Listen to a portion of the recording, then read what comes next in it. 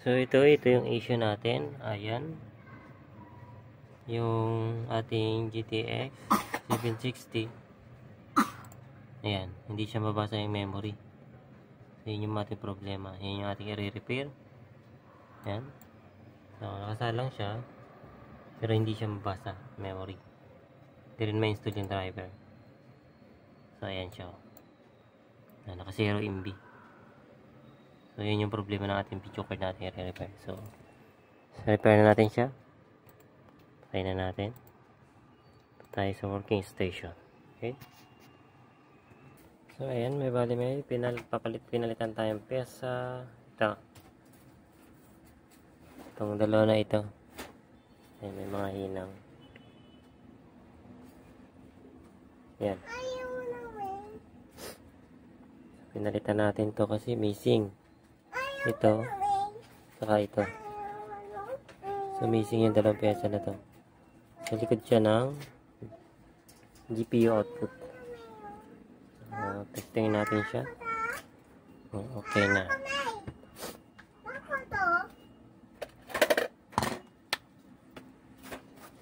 Pero wala pala siyang pyesa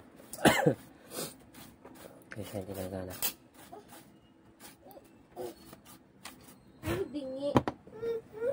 testing natin dito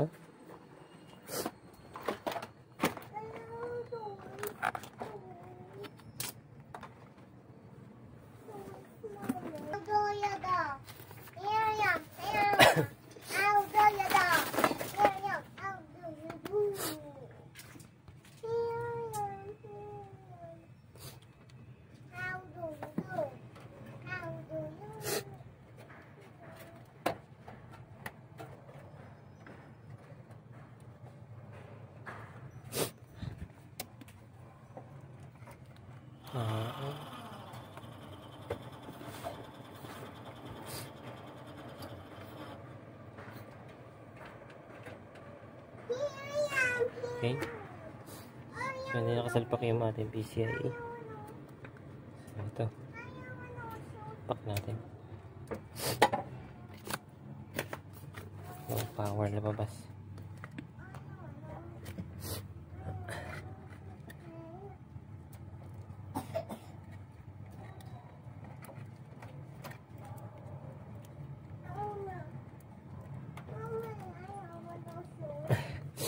Overall.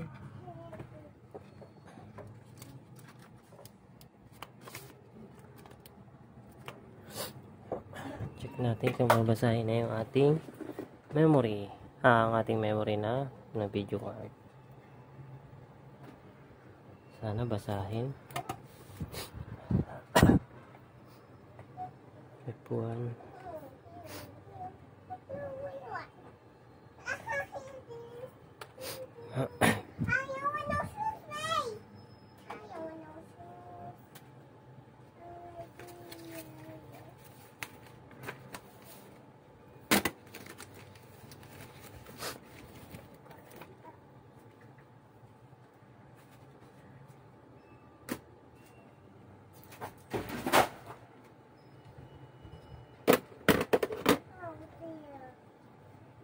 Sabi natin yung Tech Power Up GPU.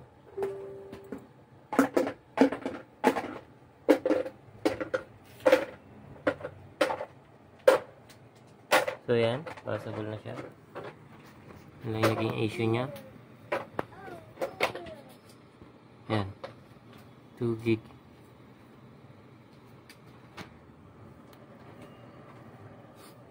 So driver natin. Check natin kung okay na yung driver.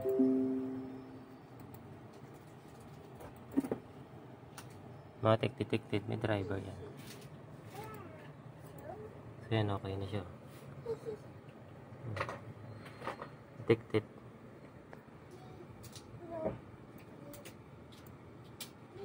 Yan.